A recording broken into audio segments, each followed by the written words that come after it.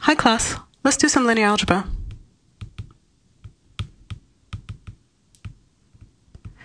Today we're going to talk about our motivation for change of basis.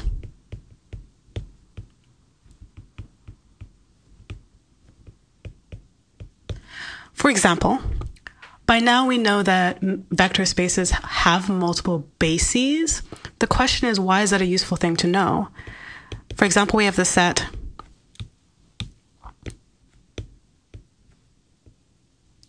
uh, 0, 1, 1, 0.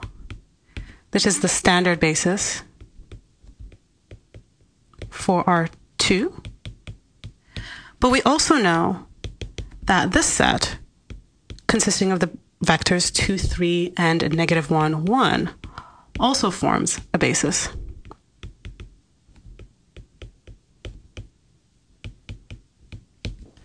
And this is because, of course, we can just quickly find the determinant of this matrix. So going to be 1 by 2 minus negative 1 by 3. This is 2 minus 3 is equal to negative 1, which is not equal to 0. That means that these two vectors are linearly independent and so form a two-dimensional space and thus must uh, span all of R2. All right, so the standard basis is kind of nice. This other basis is kind of random. Why would we ever want to use the second basis?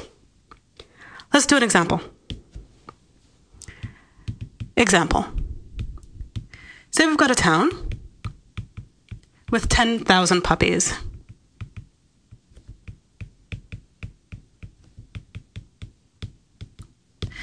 And let's be a little bit more specific. We know some things. 8,000 of them are in homes, and 2,000 are in shelters. We also know something about the patterns of adoption.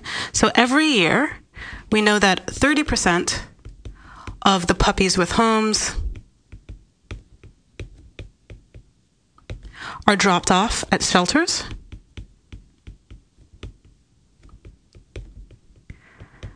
And we know that 20% of sheltered puppies get adopted. The question that you might have is what happens in the long run?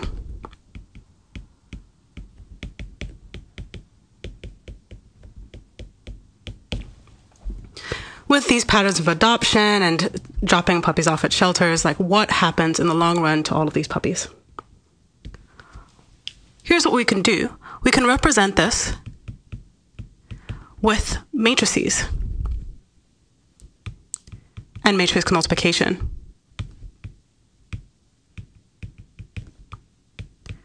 So for example, we can set up our initial vector that S0 is in the starting situation um, that represents how many puppies there are in our initial state. So there are going to be 8,000 puppies in homes and 2,000 puppies in shelters. And we're representing it in this vector. So this is our initial state.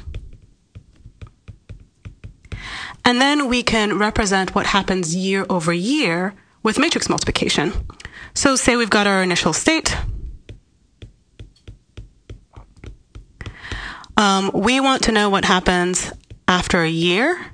So we've got 0.7, we've got 0.2, 0.3, and 0.8. So this is going to, we're going to call this the matrix A. Here's our S0. And this matrix over here, which is going to be a two by one matrix, is going to represent what happens after one year. So we're going to call this S1, which is the situation after one year. All right, so this is going to be 0.7 times 8,000 plus the 20% of puppies um, in shelters that get, get adopted. Um, then we're going to 0.3 times 8,000 plus 0.8 times 2,000. This is the shelter puppies that stay sheltered. And this tells us that after one year, we've got this sum and this sum. So we've got 6,000 and 4,000. And of course, this represents the number of puppies in homes and the number of puppies in shelters after one year. This is our vector S1. All right. So we kind of know what happens next. If we were to ask the same question, what happens in the long run?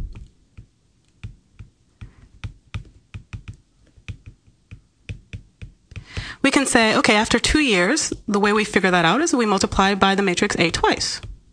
After three years, multiply three times, etc. And then we can keep multiplying and hope that there's a pattern.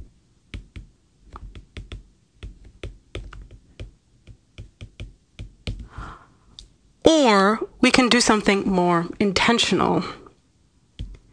Here's what we're going to do we're going to change our basis from our standard basis 1, 0, 0, 1 to our non-standard basis 2, 3, negative 1, 1. And we're going to notice that our initial state vector is just going to be represented as 8,000 times E1 plus 2,000 times E2. But we can also represent it in terms of our new basis. This is going to be 2,000 times 2, 3 plus, excuse me, minus 4,000 times negative 1, 1. And here's what I want you to note about this. A times the vector 2, 3 is again the vector 2, 3. A times the vector negative 1, 1 is a half times the vector negative 1, 1. As an exercise, please check these, check these two multiplications. Okay, let's see what this allows us to do. After n years, the situation is going to be a to the n times our initial state vector. We know how to uh, we're just going to multiply through by an. Our scalars can come in front.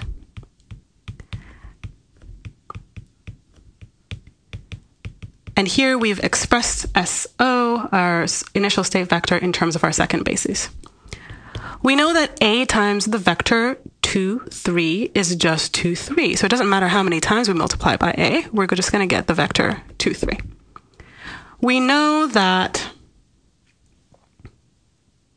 we know that uh, a times the vector negative 1, we know that a times the vector negative 1, 1 is the vector,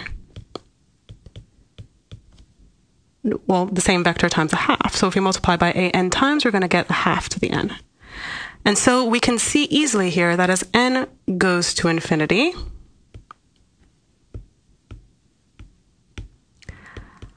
half to the n goes to 0. And so an times the initial state vector is going to go to 2000 to 3, which is just 4,000, 6,000. In the long run, there are going to be 4,000 puppies in homes and 6,000 puppies in shelters. Here's the idea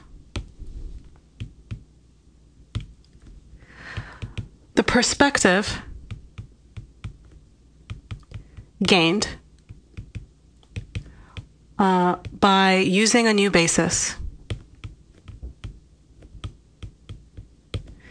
makes certain problems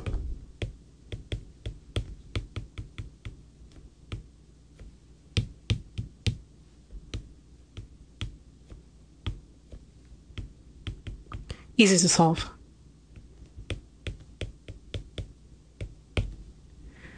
So here's what we're going to do later. Later, we're going to talk about how to find the vectors that we used.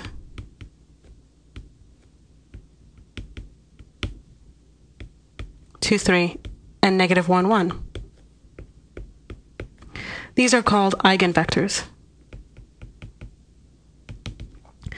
Next, we're going to talk about how to find the coefficients. So 8,000, 2,000. This was 2,000 times 2, 3 minus 4,000 times negative 1, 1. We're going to talk about how to find these coefficients 2,000 and 4,000 so that we can change basis.